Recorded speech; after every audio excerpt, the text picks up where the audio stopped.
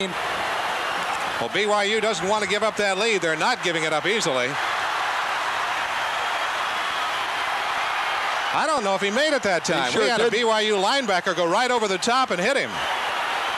Or it may have been Kyle Morrell come right over the top. If it's fourth down, and it is, here's another big call. I, They lost some yardage that time. I think they did. Kyle Morrell really timed that play perfectly.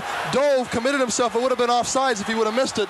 But at the half inch line, it doesn't really matter if he's offsides. He's going to try to time it up, jump over the line of scrimmage, and, and, and make Steve, the play. the field goal unit coming in now.